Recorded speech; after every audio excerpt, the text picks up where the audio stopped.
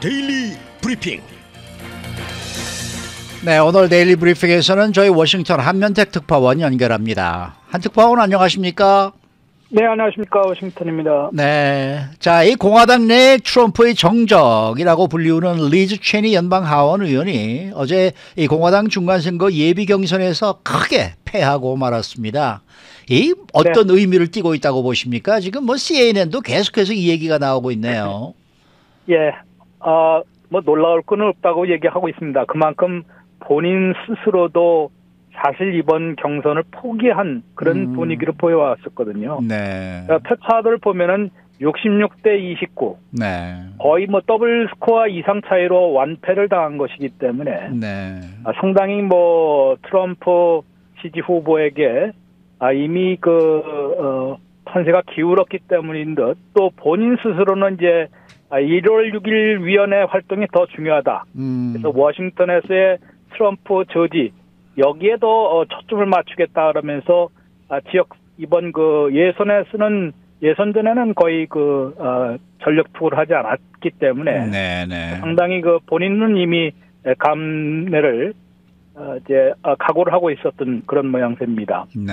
그렇지만 첫 번째 어떤 시그널 신호를 주고 했냐면은 현역 공화당 하원의원 안에 또 한 번의 낙마이고요. 네. 아, 이 리즈 체니는 잘 아시는 대로 딕 체니 전 부통령의 큰 딸입니다. 그렇죠, 그렇죠. 와이오밍의 터주대감이라고 할수 있고, 아, 공화당 하원 의원 지원형에서는 뭐 이제 삼선에 불과합니다만은 아, 차기의 하원 의장감이다 이런 네. 소리까지 들었던 사람이거든요. 네, 네. 그런데 지난 그 1월 6일 아, 의사당 점거 사건을 계기로 해서 완전히 아, 이 본인 스스로 그 정치 인생에도 큰그 어, 갈림길이 됐습니다. 네. 아마 그때부터는 뭐 어, 딕체니 전 부통령도 그렇지만은 처음에는 다 트럼프 전 대통령을 지지했었거든요. 네. 그러다가 이제 결국은 아 이게 의사당 점거 농성까지 대통령이 부추기면서 선거 결과를 뒤집으려는 그런 것은 도저히 거의 공화당 아, 의 그 본류가 아니다. 음. 이렇게 얘기해서 이제 반드시 아, 트럼프 전 대통령을 탄핵에도 어, 아, 찬성표를 던졌고 음. 그 다음에 앞으로 또 2024년 재, 대, 재도전도 반드시 막아내겠다. 네. 이렇게 선봉에 서다 보니까 그런 사람을 이제 트럼프 진영에서 트럼프 전 대통령도 어, 상대 맞상대가 될 만한 후보를 또 인도스먼트까지 하면서 전폭 지지하고 현장까지 방문해서 이렇게 아, 이제 밀었던 것이거든요. 네네. 네. 여기에 그 싸움에서 일단은 아, 이 반 트럼프 선봉장인 리즈 체니 하원 의원이 아, 현역 의원으로서도 낙마를 했다는데 일단 첫 번째 의미가 있다고 할 수 있습니다. 아, 둘째로는 반 트럼프 선봉에 섰던 이, 이 사람들이 아, 하원 예, 트럼프 전 대통령이 퇴임하기 직전에 2차 탄핵을 당하지 않았습니까? 네. 하원에서 탄핵당했는데 그때에 찬성표를 던진 공화당 하원의원들이 10명 있습니다. 음흠. 이번 아, 리즈 체니의 낙마로 네 번째 예선에서 추방되는 현역 의원으로 기록이 되고 있습니다. 네, 그러다 보니까 네 명은 예선에서 아, 친 트럼프 후보, 트럼프 전 대통령이 미는 후보에게 에, 이제 고배를 마신 것이고요. 네 명은 아예 예선에서도 참여하지 않고 이번에 은퇴하겠다라고 선언한 공화당 현역 의원들이 있습니다. 네. 두 명만 살아남았습니다. 음. 캘리포니아에 한 명, 아, 또저 미시간인가요? 거기서 한 명. 네, 네. 이게 두 명만 살아남고 열 명 중에서 아, 여덟 명이나 지금 일단은 아, 이제 물러나게 되는 어, 낙마하게 되는 그런 그 결과를 빚고 있습니다. 이런 것으로 볼 때 세 번째 신호는 역시 트럼프 전 대통령의 공화당 내 영향력이 아직은 막강한 것 아니냐. 음. 그래서 트럼프 전 대통령의 이른바 백악관 복귀 시나리오가 또 아, 이제 현실화되는 거 아니냐. 음. 이런 아, 신호를 나온 것이기 때문에 그렇게 보여주는 것이기 때문에 리즈 첸이 현역 하원의원의 한 명의 아, 예선 낙마가 이렇게 상당히 그 합류수가 되고 있는 그런 상황이라고 할 수 있습니다.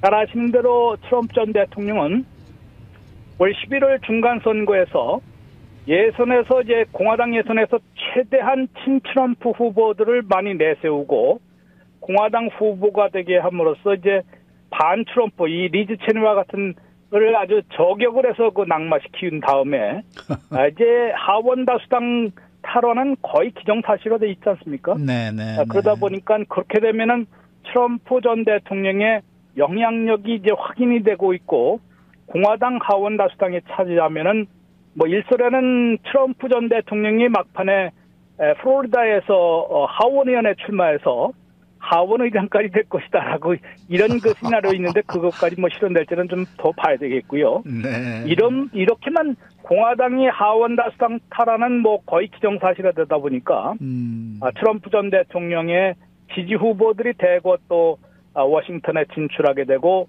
그러면은 또 2024년 대선에서 공화당 대통령 후보로서 재도전하는 그런 시나리오가 현실화될 수도 있을 것 같다. 이런 점에서 지금 상당한 관심거리가 되고 있는 것 같습니다. 음. 네. 사실 트럼프 전 대통령은 오는 2024년 차기 대선에 다시 도전할 것이다. 이렇게 계속 뜻을 보여왔잖아요. 그러면은 이번에 좀 힘을 많이 얻겠는데요. 리즈 테니 하원 네. 의원이 낙마하면서. 근데 아무래도 뭐 이제 이걸 하나 이 좀 전에 말씀드린 대로 자신에게 탄핵 탄핵 찬성표를 준 던졌던 그 공화당 하원 의원 아, 10명 가운데 2명만 살아남고 8명이나 지금 아, 이 낙마를 시킨 것이기 때문에요. 아, 공화당 하원 또 공화당 진영 전체에서 트럼프 대통령의 막강한 영향력을 확인하는 아, 그런 차원에서는 아, 공화당 대통령 후보로서 어, 2024년에 재도전할 길을 좀 넓히고 있는 건 아니냐, 아, 현실화시키고 있는 거 아니냐는 그런 아, 이제 해석이 가능합니다. 그러나 트럼프 전 대통령의 재도전에는 상당히 넘어야 할 그런 장벽들이 많이 있습니다. 첫 번째는 우선 공화당 내부에서 트럼프 대통령의 필요성, 트럼프가 아니면은 백악관을 탈환하지 못한다. 이런 그 인식이 널리 확산되어야지만 되는 거 아니겠습니까? 네. 그래야만 그 차기 대선 후보로 아, 선출이 될 것이기 때문에 그런데 지금 잘 아시는 대로 공화당 진영은 거의 뭐 반분돼 있습니다 여전히. 아 리즈 체니 이 체니 가문이나 부시 가문이나 또 이제 한국의 사위라는 여기 이제 메릴랜드 주지사인 래리 호건 주지사, 음. 네. 미치 매코널 공화당 상원 대표, 또 마이크 펜스 전 부통령까지 이런 분들은 자신들이 정통 공화당원이라고 주장하고 있습니다. 네. 음. 트럼프는 공화당이 아니라고 그래요. 공화당 원칙과는 전혀 어, 동떨어진 인물이라는 점에서 트럼프 전 대통령의 재도전을 어떻게 든지 막으려고 하는 것이 분명합니다. 음. 네. 그렇기 때문에 이, 이 절반의 장벽을 과연 트럼프 전 대통령이 막아 넘을 수 있을지 아직은 이제 에, 그 확실치가 않은데요. 그 확실치 않은 이유가 예전하고 또 다릅니다. 아, 트럼프 전 대통령의 공화당 진영에서의 지지 계층은 여전히 아, 좀 저항력, 아, 또 시골 지역 이런 그 어, 분들은 아주 지금도 활발하게 이제 트럼프 전 대통령의 아, 지지를 그 보내고 있는 반면에 이렇게 지도부로 올라갈수록 아, 또 정통 공화당원임을 자처하는 아, 인물일수록 트럼프의 아, 복귀를 어떻게든지 막으려고 하는 아, 그런 아, 움직임을 보이고 있기 때문에 아, 이게 트럼프 전 대통령이 아, 이런 그 공화당 내의 장벽을 막 넘어서는 데도 그렇게 만만치는 않을 것이다. 라는 지적을 받고 있습니다. 하원다 수당이 지금 거의 기정사실화되고 있다는 게 사실은 트럼프 전 대통령으로서는 그렇게 반가운 소식이 아닙니다. 그렇겠죠. 그래요. 아슬아슬하게 될 듯 말 듯 하는데 트럼프 전 대통령이 막강한 영향력을 행사해서 또 자신의 친, 자신이 지지한 후보들의 당선이 돼서 이렇게 아, 다수당을 탈환해야만 그 영향력을 아, 트럼프가 없어서는 안 되겠구나. 음흠. 또 트럼프만이 또 백악관 탈환의 주역이 될 수 있겠구나. 이런 인식이 공화당 진영에서 널리 확산될 수 있는데 그렇지가 않습니다. 지금 내성만 빼앗으면은 아, 하원 다수당은 탈환하는데요. 트럼프 대- 전 대통령이 어떤 영향력을 그러니까 트럼프 전 대통령의 필요 없더라도 하원 다 수당은 공화당으로 넘어갈 가능성이 높은 것입니다. 음. 이러면은 이제 트럼프 대통령을 꼭 끌어들일 그런 이유는 없- 없어지는 거 아니겠습니까? 네, 네, 네. 그 다음에 지금 민주당의 오히려 선거 전략도 들어가는데요. 지금 예선에서는 공화당 트럼프 어, 지지 후보들이 많이 당선되도록 예선을 이기도록 지금 어, 오히려 지원하고 나선 것이 민주당원들입니다. 어허. 그러면은 11월 달에 본선에서 오히려 완전히 극우대 아, 진보로 아, 싸워서. 이제 공화당 트럼프가 예. 미는 공화당 후보들을 갖다 꺾을 수 있다. 음. 어. 이런 전략이기 때문에요. 네. 네. 이번에 네. 그 실패한 게 와이오밍은 너무 공화당 아, 지지 우세 아성이기 때문에 네. 리즈 체니가 민주당원들에게 호소를 했습니다. 음흠. 공화당으로 그 open primary가 아니기 때문에 이제 공화당으로 우선은 당적을 바꿔서 자신을 지지해달라고 그러는데 아무리 그렇더라도 민주당원들이 그렇게 쉽게 그렇죠. 당적까지 바꿔가면서 리즈 체니를 밀 수는 없었기 때문에 네. 네, 그런 것 같고요. 이러다 보니까 뭐 상당히 그 공화당 이게 장벽을 어, 넘어설 수 있을지도 아직은 불투명하다 할 수 있습니다. 또 음. 잘 아시는 대로 민주당의 전방위 압박이 지금 펼쳐지고 있지 않습니까? 그렇죠. 곳곳에서 뭐 아, 플로리다 말하라고 자택까지 압수당하고 음. 뉴욕에서는 뭐 신문 검찰의 신문이 있었고요. 네. 지금 1월 6일 그 의회 조사도 지금 아, 거의 뭐 막바지 와 있고 마이크 펜스 전 부통령이 아, 플로리다 아, 수사 또 1월 6일 청문회 증언 이런 것들이 다 오히려 지금 반 트럼프 쪽에 설 아, 가능성이 높거든요. 네, 네. 이런 것으로 볼 때 그런 민주당의 전방위 압- 압박은 한마디로 해서 민주, 아, 트럼프 전 대통령을 형사 범죄로 어, 몰아가서 유죄 판결을 받게 되면은 공직에 출마할 수 없게 됩니다. 음흠. 그런 공직 금지까지 지금 하려는 아, 그런 것이 그 민주당 진영의 전략이라고 할 수 있기 때문에 그런 포위망을 과연 뚫을 수 있을지도 미지수였어. 지금 트럼프 전 대통령이 꼭 유리하다고 하는 어, 그런 그 해석만은 할 수가 없는 그런 음. 할수 있습니다. 한 가지 궁금한 게 있는데요. 지금 그 공화당 트럼프를 지지하는 사람들은 이건 공작이다, 정치적인 탄압이다 이렇게 얘기를 하고 있고요. 또 한쪽에서는 아니 압수수색이나 이런 걸 받을 만한 이유가 있기 때문에 타당하게 수색을 받는 거다 이렇게 얘기를 하고 있는데 어떻게 생각하십니까?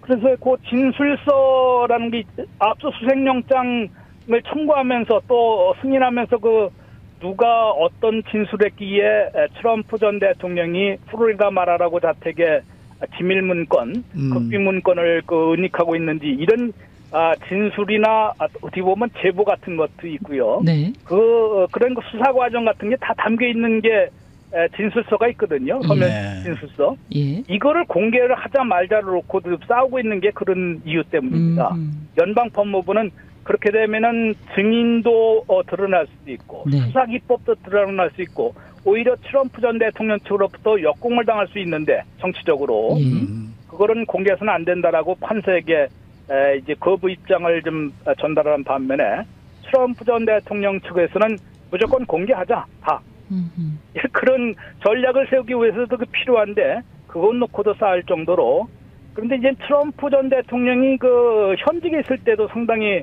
좀 말썽이 있었지 않았습니까? 이란의 핵시설, 뭐 미사일 시설 같은 기지도 자신이 그냥 기밀 해제를 어, 해버리고 트위터로 그냥 공개를 해버렸습니다. 네. 국가안보 관련 또 정보 사항인데도요. 이런 것 수성으로 볼 때 이번에도 분명히 아, 이 기밀 문건, 극비 문건 또 아, 핵무기 관련 그 문건까지 이번에 11건에 압수된 아, 세트에 그 들어가 있다는데요.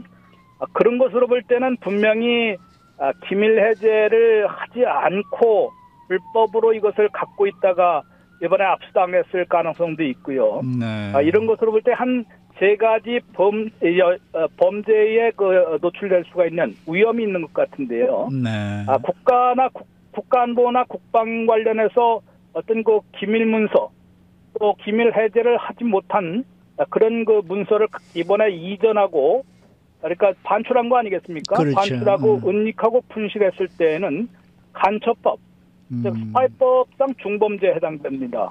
그러니까 상당히 무겁게 처벌받을 수 있다는 것이고요. 또 한 가지는 이미 그 수사하고 있다는 걸 다 알려졌거든요. 네. 1월에 12박스를 반납하고 6월에는 더 이상 기밀 문건은 없다는 트럼프 변호인의 아, 진술서까지 그 서- 서명서까지 제출했기 때문에 수사적인 기밀 이제 문건을 갖다가 갖고 있다가 이번에 그 압수당한 것이기 때문에 20년 이하의 징역, 징역형에 처해질 수 있다고 합니다. 네네. 또 이런 네. 것을 아, 각각의 개별 또 3년 이상의 징역 청구가 있고요. 음흠. 그러면은 문제는 이렇게 유죄 판결을 받으면 공직에 나설 수가 없기 때문에 네. 아, 이게 뭐 상당히 어려워질 수 있고 네. 물론 뭐 전직 대통령이 감옥에 가는 일까지는 없을지 모르지만은 2024년 차기 대선의 대도전을 아, 가를 막 알겠습니다. 가로막힐 그럴 가능성이 높아질 것으로 예상이 되고 있습니다. 네. 네, 네. 오늘 말씀 잘 들었습니다. 네, 고맙습니다. 네, 지금까지 저희 워싱턴 한면택 특파원이었습니다.